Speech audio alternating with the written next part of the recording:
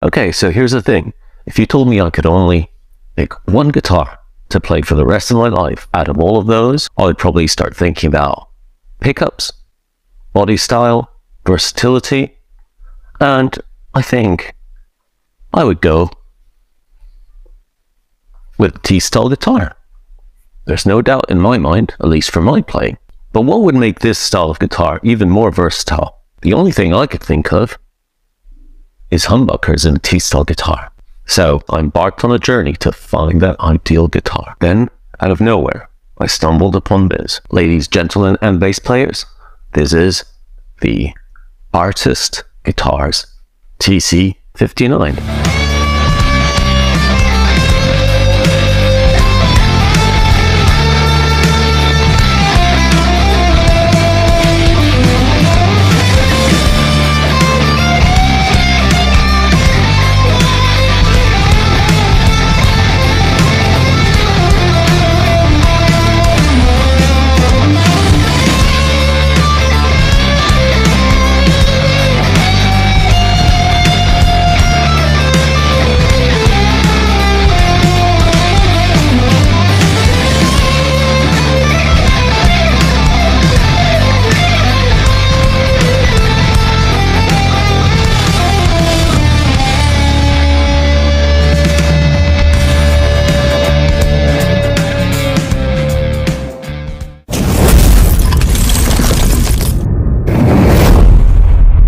So today we are going to review this beautiful Artist TC59 guitar. And as you got from the intro, it was a bit of a funny journey because I didn't actually know Artist guitars that well. I do understand that they are a better known brand in Australia New Zealand because they are originally an Australian brand. I just stumbled upon their website and strangely enough saw exactly what I couldn't find on all the other websites that I showed you a guitar that is classic in looks, but with all the modern appointments that actually would make it a dream guitar for a desert island scenario. So on paper, this actually ticked all the boxes. Now, what we're going to look at today is whether in reality it does that. So sit back, relax, grab your picks, and let's get started. So, as usual with my videos, let's start by looking at the sexy specs of this guitar. The Artist TC59 has an American ash body, as you can see, very, very nice. So looking at the back, I think I can definitely see that it is made out of three pieces. There's one piece here, a center block here, and then there's a third piece here. Now again, I keep saying this, but the number of pieces, if done correctly, doesn't actually matter that much. So I wouldn't be too worried about it. In a traditional T-style guitar, it has the strings through the back and the body. Looking at the little holes, I can see it actually ships with the D'Addario strings, which is always nice on a guitar at this price point. Moving to the front, we have a six saddle bridge. So you're not looking at a traditional Tele three barrel bridge here. I still don't know whether I prefer one over the other. Obviously, this is more modern in terms of appointments than a traditional guitar. And so it does make sense that they went with the six saddle bridge because it allows greater intonation than a traditional strap one. There's no doubt about that. Then moving on, very traditional in terms of the control layout. But what will make a difference is the tone is a push. And that's because you can split these two humbucker pickups. So that is one of the big selling points of this guitar. And that is exactly the answer to the question I asked at the beginning of the video. This with the push-pull makes it on paper the most versatile guitar you could have. So let's see if that happens in reality, but very nice. The switch feels very solid, very nice the volume as well. Not so sure about the longevity of this push-pull tone knob because it does feel slightly flimsy, but hey, not too bad for the moment. It has two humbuckers, which according to the artist's website are their famous bullbucker pickups. Gotta be honest, I've never tried them, so this will be a first for me. if I am not mistaken, and please do let me know if I am mistaken in the comments. These are Alnico 5 pickups. So they're not ceramic, they are Alnico pickups. And I have checked with my meter, they are quite hot in terms of winding. So you're looking at, I believe, a 15k at the bridge and a 12, around 12, if I remember correctly. I did this a few weeks ago, but I can't remember now. So they are quite hot pickups. Obviously, when you split them, that will cut it basically in half. So you should still get quite traditional single coil tones. Moving up the neck, you have a very traditional maple neck with quite standard medium frets. I've got to say the fret job is very good, actually. It is very good. They're not rounded per se, but they don't stick out. They feel quite nice. Um, I would give it an 8 out of 10. The neck itself is not the thinnest neck that you will play, but it is a very familiar neck for many of you um, that have played Telecasters. So it's relatively chunky, but not crazy. It's very comfortable, satin finish, obviously makes it a joy to play, and that's what I really like.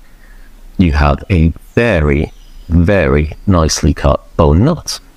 And the big selling points, in addition to the two pickups, is what's at the back of the headstock. Locking tuner. Locking tuners. Fantastic. Great idea. Now we've got to talk as usual about the build quality and the setup. I've got to say, build quality and finish is very, very nice. I can't really see anything wrong with this. Um, it is finished in a very dense coat of poly, transparent poly finish, but it is done very nicely. It's very smooth. The fit of the neck where it joins the body is actually one of the best ones that I've seen. It is so tight. I don't know if you'll be able to see this, but it is very, very tight. And that's often a sign of good construction, good planning. It is literally as tight as can be. I've definitely seen guitars 10 times the price of this that had a lot more space between the body and the neck. So this is very impressive with the traditional four screws. The frets, as mentioned, were very nicely cut, very good. There were no, absolutely no dead spots on the guitar, no fret buzz, nothing of that sort. The only thing I could find was that when I first took it out of the box, I've got to say the frets were slightly gritty. Um, these are the kind of things that are no big deal at all. Um, few days of playing it, they actually smooth themselves out, um, or you can polish them out yourself if you don't want to play with them for a few days. But now, as you can tell, they're actually perfect, very smooth. The action on guitar, as usual, we'll put one finger on the first fret, the other where the body meets the neck, and check it out. And I've got to say, the action was super low. The neck is relatively straight as you can probably tell from the image, there's not that much bow actually in the neck, but there is no fret buzz whatsoever. So it's not buzzing, it's not rattling. So that shows that they did a great job on the construction of the guitar. Another very important point, which I really like about this guitar, is if you look at the neck and the strings and how the bridge is centered, you will see that the distance between the high, sorry, the high E and the low E string is very consistent on both sides. A lot of guitar manufacturers unfortunately still get this wrong. So I often find that the low E tends to slip off the fretboard because it is slightly centered too much towards the high E. So it's one of those things that you can tell that they've taken a bit of time to actually check the construction. So you have a very nice attention to detail with the fact that everything is straight. So the bridge is straight, the pickguard is straight, then you have an equal distance around the pickguard and the horn of the guitar. So little details, the, the bone nut is cut incredibly well. I've got to say, really, really impressed with how the bone nut is cut. Very, very nice. If you put your finger on the third, the string is literally lying on the first fret. really well cut nuts, very nice. And finally, the locking tuners, they work very well. Not the highest quality, obviously, but they feel very in line with some of the guitars at this price point. So overall, guitar setup was flawless, immaculate. I took it out of the box, I tuned it up, that's it. I didn't do anything. The only thing, sorry, before I forget, the only thing in terms of setup that I did do, I had to dramatically lower the neck humbucker because it was completely out of balance with the height of the bridge. So changing from bridge to neck meant that there was a massive volume jump between the two. So that was the only thing. Again, no big deal, very easy to do. You just lower it down to a position where it matches the volume of the bridge pickup. So overall, really great, very nice setup, perfect out of the box. Tuning stability is top. There is no way in hell this thing is going out of tune. So that really brings us to the main point of the video.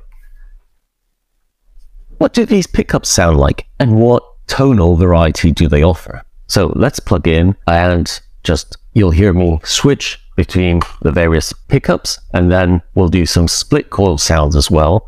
And after that, we'll just see what we think. Let's go.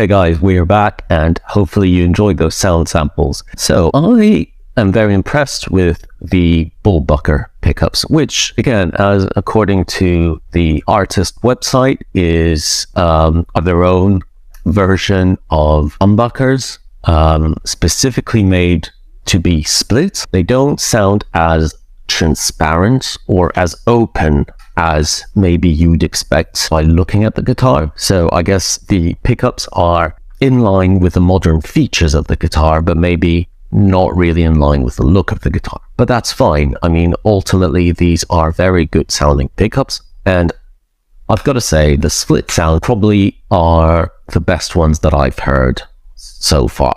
Um, I'm not a fan of coil splitting. Um, I always find that the single coil pickups sound really weak. But in this one, they sound fantastic. And that's probably because they are higher wound pickups. So they you kind of reach that same output on single coils as you would with a traditional single coil. This is a very balanced sounding guitar.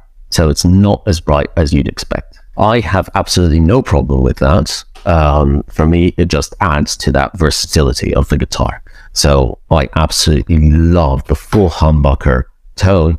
I mean, this is the perfect example of something that looks like a Tele, but actually sounds more like a Les Paul.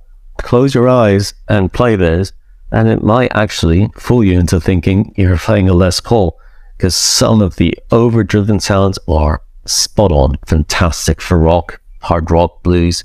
Very, very nice. The big elephant in the room, which I've kept quiet on for the moment, but I do have to talk about, is not only can it sound like a Les Paul if it wants to, but it can also weigh like a Les Paul.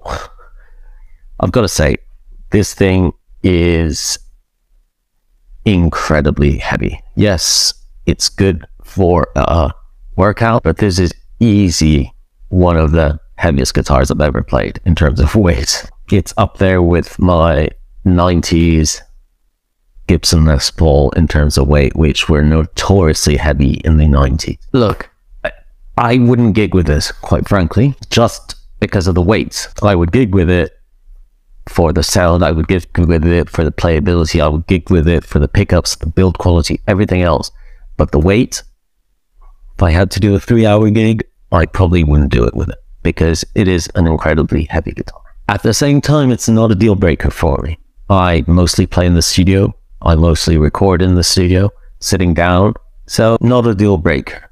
But if you're looking for a light guitar or a guitar that doesn't break your back, this may not be a good option because it is very, very heavy. So that for me is possibly the biggest downside of this guitar, the weight. But to sum it all up, the Artist TC59 is a fantastic guitar for players that are looking for a versatile guitar, for a guitar that doesn't break the budget, and for something which is ultimately a great platform in case you do want to change out the pickups because the build quality is so solid, has great components, but if for whatever reason you don't like any of those components, you can always change them out. As usual, I always leave the price for last. This is an incredibly inexpensive guitar. I think it was a hundred.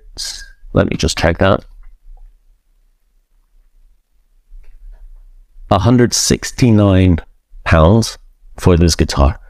Very good price um, uh, you know, 160 pounds is nothing. Uh, get free delivery as well. I think this is a true quality instrument, and I can see myself playing this for a very, very long time. In case you're asking, these guitars, as I said at the beginning of the video, are conceived, drawn up in Australia, but they are made in China. A lot of the components, if I'm not mistaken, such as the pickups, may be made in South Korea, if I'm not mistaken. But regardless, it is a very, very well made guitar. So, made in China guitar, but very, very good quality. It is also inspected, and they do put a very nice sticker. This one was inspected by Hank. Hey, Hank. Yeah, overall, I, am really happy with this guitar. It's a great addition. Um, I like it. It was slightly lighter. I would love it. But I really think you should go check it out because if you are looking for some good versatile rock tones, that can need be also go into jazz, country, blues, whatever you want, even heavier. This will do it. Great guitar. So I would definitely recommend this. I will link all the details of the artist guitar websites and hopefully I'll be able to get my hands on some other artist guitars. They've got some really funky models out there. So I will try to get that done for you. So let me know what you guys overall great thumbs up to this guitar. Like it a lot. Please subscribe, like, comment, forward, do whatever you want. But let's keep those bots happy. Enjoy whatever you guys are doing. Be good to each other and peace out. Thanks for watching.